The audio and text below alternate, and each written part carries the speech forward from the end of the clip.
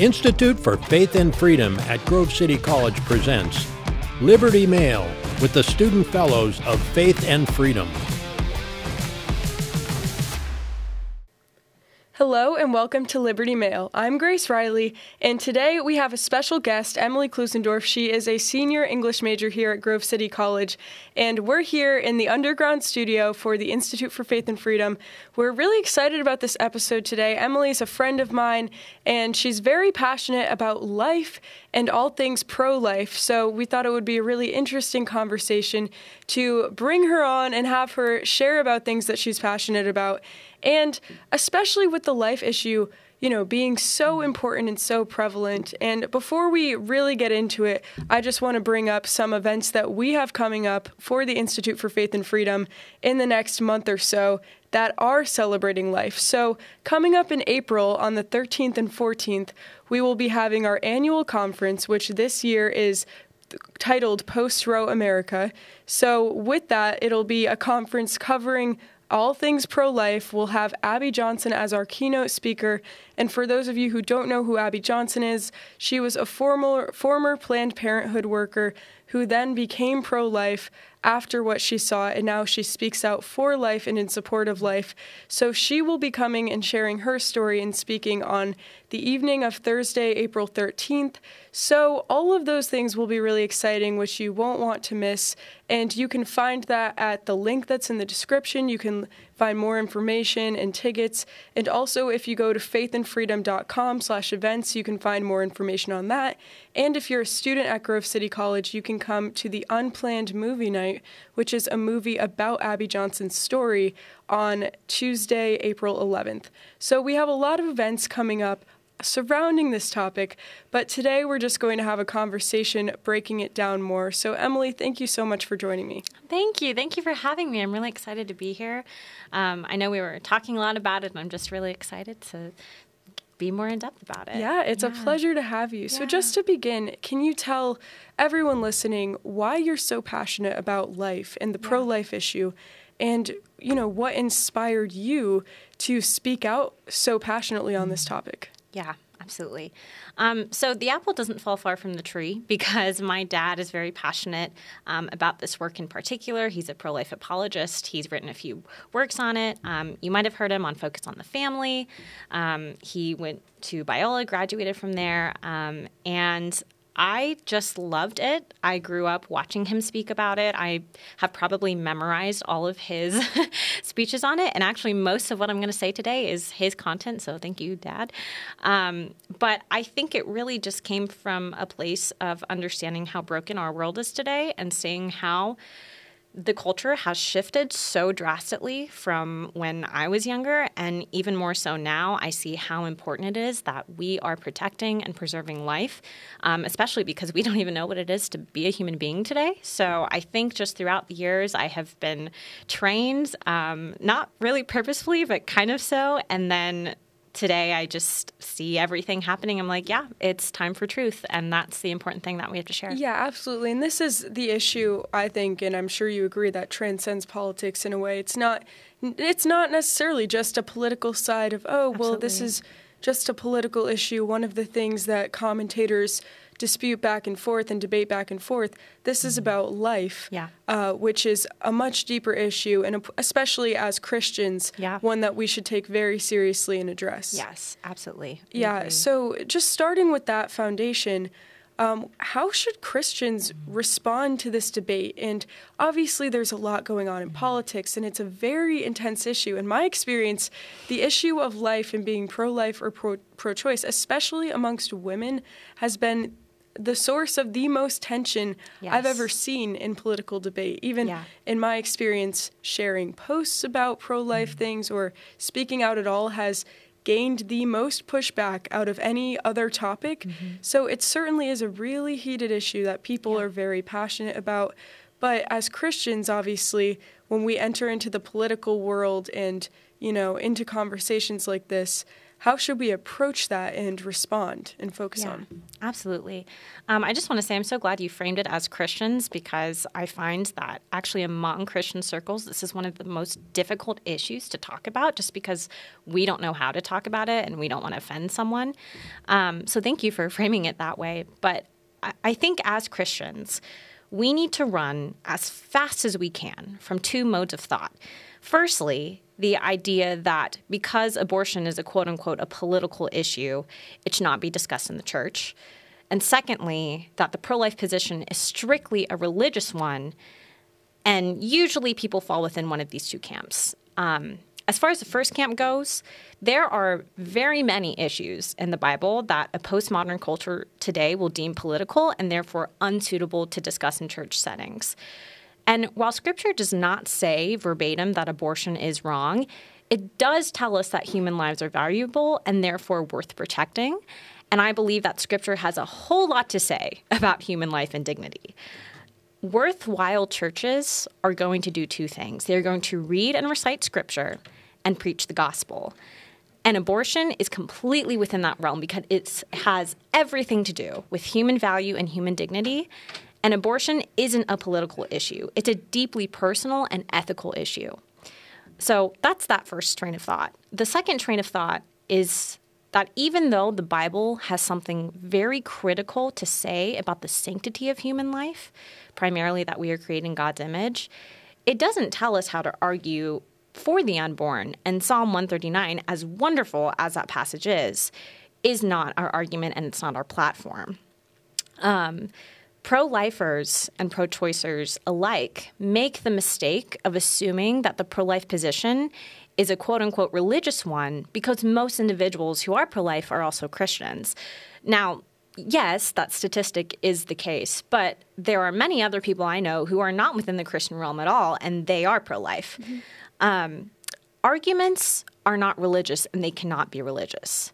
People are. And just because an argument has biblical support, that doesn't make it any less worthy to be considered by people unfamiliar with Scripture. And so, in light of these two camps, I think it's really important that we establish what our primary goal is. As great as the gospel is, and as much as we want to promote it, our goal is not to preach scripture our goal is to protect human life, acknowledging that scripture is the foundation for that, acknowledging that the Bible has very important words to say about what it means to be a human being and how we protect life and protect each other and love each other well. But we can't quote Psalm 139 and assume, okay, that's our argument, because that's mm-hmm. not accessible to people. Our goal is the protection of human life. Yes, and I think a really good point that you're making is while we can do both, while we can obviously evangelize and promote the gospel and share the gospel with people, and as we should in everything that we do, it's also you know important to realize that when you're talking to a peer or right. someone in your life that is not a Christian and that is the only argument you present, then you're they're not seeing eye to eye with you. You're yeah. not talking about the same thing. You're missing each other. And mm. if as Christians and if as pro-life Christians we care about really changing hearts and minds, we have to start more at the foundation and kind of work from there. We can't Absolutely. just kind of throw out scripture and assume, well, you know, this is this is truth so they'll understand right. and because the whole point is people who are not Christians or are do not operate in that same way. Absolutely. So if we really care about convincing those people, talking to them, reaching them, we have to be mindful of that yeah. and be ready to back up even though what we are saying is rooted in scripture we have to be ready to back that up in other ways also and the good thing is the truth is on our side yes. so the yes, truth is the truth so yeah. what we're saying like for example making a scientific argument mm-hmm. about life saying life begins at, at conception mm-hmm. that's a scientific art- argument and it also is completely backed up and based in scripture yes. and what god tells us and what god tells us about life and how he created it. Yeah. So that is a that's based in scripture. Yeah, absolutely. But if you're saying it in a scientific way where you're not forgetting the scripture, you're not forgetting that truth because those two things are in line and are working together actually. Yes. But absolutely. definitely, yeah, I think thinking about the way to approach things, especially with people who do not are not Christian, and I think what I've seen a lot, and I'm sure what you've seen as you've explained is that if you just kind of approach this as saying, well,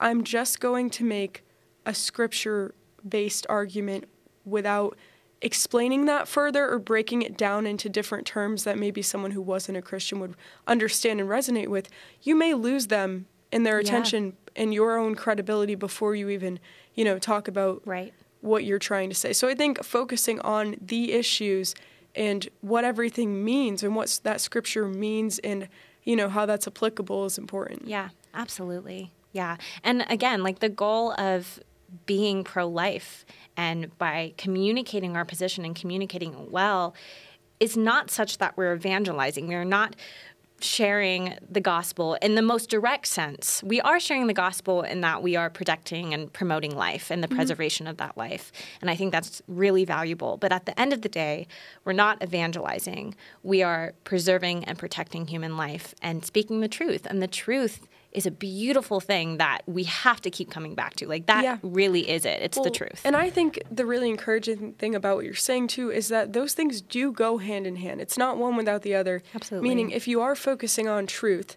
um, and preserving life, that brings up a lot of thoughts and questions about well, what is life? What does that mean? And why is life so valuable? So Absolutely. I think that's a, it's another really great opportunity to reach people. Um, and have them really think about fundamental Yeah. truths that are obviously answered by God. But Mm-hmm. um, just moving forward, so you're talking a lot about the pro life position Mm-hmm. and um, what our position as pro life Christians. But what does that look like? What is the pro life position really, and what does it mean? Yeah, yeah. Um, this is kind of a, a complicated answer, but I would say that the pro life position really looks beyond the realm of human identity and functionality. And what I mean by that is that our principles and our vision come down to the main thing, which is the sanctity and protection of the human life. Human life that is valuable not because of what that life contributes to our society, our opinions, our preferences, our circumstances, but because that life, in the most simple and beautiful sense, is human. And our argument must always, always come back to the question what is the unborn? I agree. As a woman, I agree that a woman should have every right to privacy and bodily choice if if the unborn are not human beings. And before we can determine whether or not to kill something, we must first determine what is the thing that we are killing. And if the thing that we are killing is a human being, we have a problem. Yeah, absolutely. Very well said. Thank you. um, and obviously, from that, the response that you'll get from pro choicers is going to be, well, that's just the point. Human, Yeah. they're not human beings. They're clumps of cells. Yeah. It's just a fetus. It's just. Um, I've heard horrible things. I've heard parasite. Mm-hmm. I've heard horrible things, which um, is will be the common response if you are to tell someone that's pro-choice. Well, if it's a human being, we have a problem. So, how do we know that it's the baby is a human being? How do we know that? Uh, what is that based in? And how can we kind of respond to those points that pro-choicers will bring up? Well, for that, um, we don't turn to the Bible. We actually turn to the science of embryology. And the science of embryology states that from the earliest stages of development, from the moment of conception, you are a distinct, living, and whole human being. You're not a part of a human being, like the clump of skin cells on the back of your hand. And you are not just a part of your mother's body you were human, and you have been human since the moment of fertilization. Yes, you were smaller than you are today. Yes, you were less developed. Yes, you were in the womb and now you are out. Yes, you are more independent than you once were. But these differences do not make you any less human than you are currently, nor are they reasons to exterminate you in the name of privacy and preference. Yeah, I mean, again, great points, and and that is again the point of that is a scientific argument, and people on the left tend to appreciate science more than anything else as backing. So you would think that this would be something that was widely agreed upon. Yeah. And it's it's discouraging that it isn't, but I think that is changing and there's it is getting better, but exactly what you said, it's a scientific argument that Yeah. life begins at conception. Um, and again, it is supported by scripture, Yeah. which is Absolutely. wonderful because the Yeah. truth is the truth. Yes. But it is um, in debating with people that is that's scientific. It's not Yeah. just a quote unquote religious argument. Yeah. It is based in science. Yes.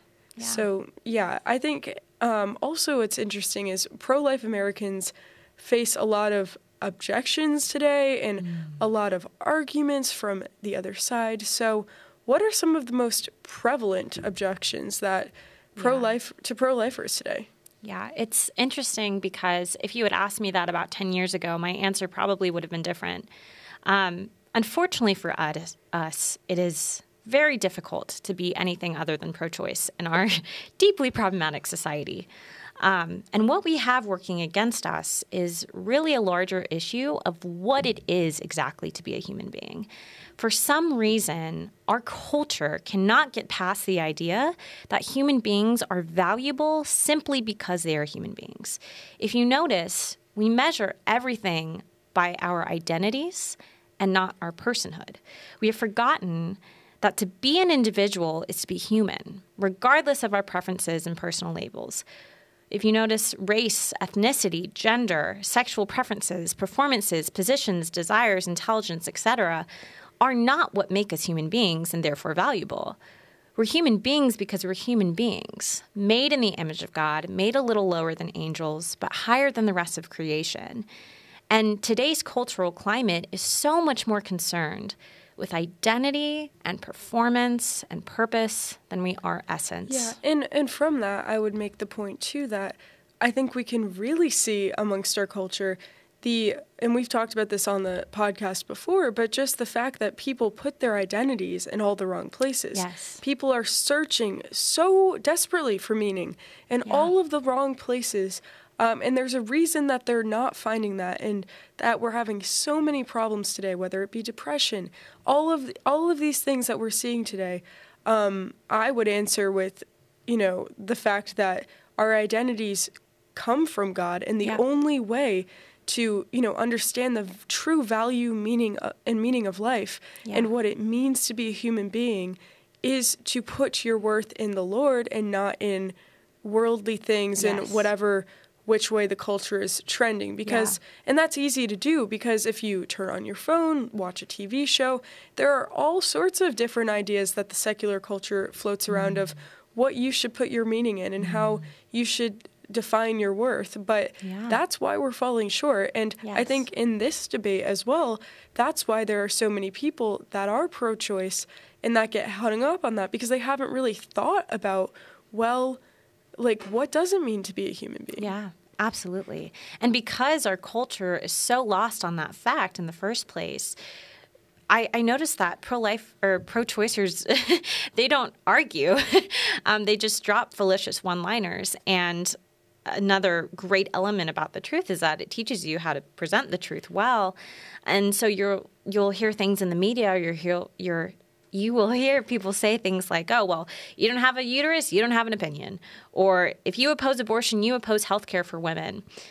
You have no sympathy for women in cases of rape, or making abortion illegal doesn't ban abortion, it just bans safe abortions. And these are all issues that are very sadly at the forefront of our deeply selfish age. And because of this, I now see a subtle shift in the abortion issue. Sadly, um, what I notice most clearly now is that most young men and women who support abortion are men and women who couldn't care less about whether or not the child is a human being, which is devastating because they care a whole lot more about their sexual liberation than they care about what stage a child has a heartbeat. And the truth is, Grace, the science is simple. We don't need to dive into the depths of embryology to understand when a human being is formed. Anyone that has been within the public school system since the seventh grade is knowledgeable of these facts. But our culture cares so much more about the preservation of the self than the protection of other human beings that do not fit into our imaginary realm of convenience and enjoyment. And if you noticed, pro aborts don't ever argue for their position. They just insult you for not agreeing with their ideology of feelings and self. And they don't have an argument to give, at least not one that I've seen and have been able to respond to well. Because how do you justify the intentional killing of an innocent human being regardless of how you feel about their development or existence. Yeah, and I uh, one thing I thought of as you were talking too is the the fact of there are people who are not necessarily super attached to the pro-choice side. They just trend that way because they haven't really thought about it, or Yeah, they their friends are the same way. And what's interesting is a lot live action, which we might talk about later in yeah. resources. Live Action is a great organization Yeah. that does a lot of work on making sure that people understand what a life is and advocating for life. Yes. And the interesting things that they've done, they've walked around and shared videos of what an abortion really is. Yeah. So they'll show people on the street, this is what happens in an abortion and the the actual medical things. And most people are unaware uh, that during an abortion, it is a violent process where Yes. um, in the second trimester, babies are torn limb from limb. So it's a violent process. Yeah. So, and at its very core, it comes down to life. Yeah. But further than that, when we see these arguments of, well, abortion on, on demand, no questions asked, up until the moment of birth, because that's how radical the pro choice movement has become. It used to be obviously safe, rare, legal. But now it's moved to, well, anytime for any reason up until Yeah. the moment of birth. So I think as we've seen this trend, I do think people that are more in the middle, maybe, but trend more to the pro choice side, at least are opening their eyes when they're seeing the truth. And Yeah. that's the thing. If you show someone what happens in an abortion, that's that changes their mind. Yeah, um, absolutely. which is important. And Yeah. but what you're the people that you're speaking about as well though do exist who know these things but don't care and Yeah. just will die on the hill. Yeah. Um, basically, no matter what, they don't want their minds to be changed. Um, and that is a really sad thing. Yeah. I would also like to clarify, you know, there are obviously different types of people on the pro choice end um, and very different, many flavors of people on the pro life end. And it's important that we can listen as much as we can to what pro choicers are saying because that will help us frame our argument better, but also just, I mean, help us be compassionate. I know I can come off like very strong on, on this issue, um, but I'm certain that if someone who was pro choice who had an experience with an abortion came up and was talking to me, my tone would change. And I think it's important that it does. And there's a very clear difference between between someone who has a genuine question about the pro life issue and they are seeking for answers. They don't know where they're at. They're kind of just like you said, they're on the pro choice side because it's what everyone else is doing. There's a difference in how we approach that person to the crusader who just says, oh, well, you don't care about women. Yes, and there is a difference. I think of so I was in DC for the Dobbs decision back a year ago uh, in Yeah. December. So, Yeah. and at that time there were protesters who had abortion pills that they were taking in hmm. front just at the Supreme Court to prove a point, I suppose. But so obviously that's horrible. So they're just Right. taking these abortion pills to basically, basically as a slap in the face to hmm. any pro-life people that were there, hmm. and just to kind of prove that point in a very uh, obnoxious way. Yeah. So there are people like that who, that's that's one thing, and there are also what I think of as my peers that I went to high school with, for example, who Right. on social media will ch- share pro-choice feminist things, and I don't think it's because they think they they com- they completely are like, well, I'm gonna take an abortion pill at the Supreme Court Yeah. because my body, my choice. Right. Like there are people that genuinely I think are in the middle of all this c- craziness that Yeah. we have a really great opportunity to hopefully reach with the truth of Absolutely. life. Um, Absolutely. Yeah, and I think that also applies. I mean, we might be going a little bit off track here, but in the issue of rape, I know a lot of people who say, well, you know, I oppose any other reason for abortion except for rape. And with that, I mean, we are called to be kind and compassionate and patient. and, that's a horrible thing. Yeah, and horrible. it is our responsibility to not diminish someone who has had that experience. It is our responsibility to love and to care and to listen and say, "I am so sorry that you had that experience," um, and yet come in with the truth in a way that is kind and compassionate. Yeah, and and obviously too, um, talking about this and women who have had abortion and carry the weight of that around. Uh, the whole message of the gospel is God's redemption Yes. through Yes. all of this, which is important not to forget. I mean, there is redemption, forgiveness, and healing and Absolutely. hope through all of this. And no matter where people fall, like if they have agreed or disagreed with everything we've said so far, um, our, our message ultimately is that there is that hope and Yes. um, that life is so valuable and um, that's the conversation we want to Yes. keep having. absolutely. I absolutely agree. Yeah. So just moving moving on, what are some resources that people can check out Yeah. to learn more about life? And if people are wondering, well, how do I get involved, or Yes. how do I learn what happens during an abortion, or Yeah. other things like that? What are some resources that have helped you, or that you would recommend checking out? Yeah, absolutely. Um, going back to live action, that's a wonderful resource. Um, they're on Instagram, Facebook, Twitter, so you can access them anytime, anywhere. And they have all Um, sorts of have- educational yes. resources, anything you could want, actually. Yeah, absolutely. Um, yeah, like Grace said, they have so many resources and just just a wonderful group of people that are truly just doing Yeah. the Lord's work. And that's a good place to look if you Yeah. are thinking, well, I don't really know what I think. I don't know what the stages of fetal development are or what abortion means Yeah. during them. That's a great place to go to learn more if you're kind of unsure about what you think Yeah. or what really happens during Yeah. abortion. Absolutely. Um, another one I'll plug is uh, Life Training Institute, LTI. Um, so my dad, Scott Klusendorf, he's the president of that, um, and he trains speakers um, to talk about the abortion issue and um, basically defend the pro-life view very well um, and communicate it in a way that's accessible to everyone. Um, so if you want to go to prolifetraining.com, um, you can go to the resources tab and you can learn how to defend your pro life position in five minutes or less. Um, I've learned how to do it in one, as we've heard today. Um, but um, my dad and his team have just so many resources available for um, people of all age, really. Um, I would also recommend the Pro Life Club on campus. I have to admit, I have never been to a session. I'm really sorry, Liliana. Um, but she does amazing work. Um, and so I would recommend going there. And also, just to plug quickly, so that pr- the Life Advocates group Yes. in partnership with the Institute for Faith and Yes, Freedom yes, has a summit coming up. Yeah. Also, that we should mention, it's going to be an event on April 22nd. I'm not sure of the time, but if you're a student on campus, uh, look around for posters. There'll be more information up. I think there already is information out. But this event will have Toni McFadden, who's a Mm. friend of mine. She's really great. She had an abortion and Mm. has a, an incredible story of redemption from that and is now a pro life advocate. So they're going to be having her speak, some other pro life speakers come speak.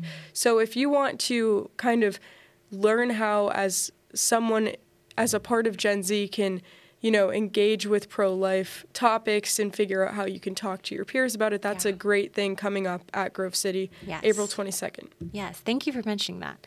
Um, another, this is uh, for all my readers, and even if you're not a reader, it's a good thing to do. Um, Pre order the second edition of The Case for Life Equipping Christians to Engage in the Culture by Scott Klusendorf, shameless plug. Um, that is another excellent resource. It's amazing for students. Um, you will find a slew of information, a plethora, if you will. Um, so that's a really great resource as well for my readers. Um, if you want to look more on the whole worldview side of education, um, I would recommend Summit Ministries. I know some Grove City students have gone to that. Um, it's basically just a giant worldview camp, and of course, they have a section on abortion, but um, that will just help students gain a better, well rounded view of what it means to be a Christian in today's culture. Um, and then obviously, the Institute for Faith and Freedom, um, and register for the Post Roe America Conference on April 13th and 14th. I think that's going to be wonderful, and I can't wait to go. So. Yeah, it certainly is, and we're really excited, especially for Abby Johnson to come. Yes. So, thank you so much, Emily, for joining me. This has been a really good conversation, I think, just breaking down a lot of different things that's left me with a lot to think about, even. There's just, you know, it's a really important issue, and I'm glad that we were able to shed more light on it today. Yes. Well, thank you for having me. This was wonderful. Yeah, thank you. And for everyone listening, thank you so much for joining us. We hope that you'll come back next week for another episode and that you'll keep checking out all of the things that the Institute for Faith and Freedom is putting out and that we'll see you at our upcoming events. Thank you. For more information on the Institute for Faith and Freedom, visit faithandfreedom.com.